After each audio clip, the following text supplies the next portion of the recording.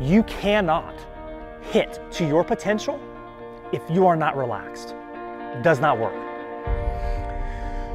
You can be tense and be anxious and feel the pressure and then you can be and be in a slump and say you finally, you know, square up a ball. Okay? And then all of a sudden you're not in a slump anymore. And then you can say, "Well, I was tense then." You're right, but you probably got lucky on that one. And then what happens is after you got that one good hit, how did you respond?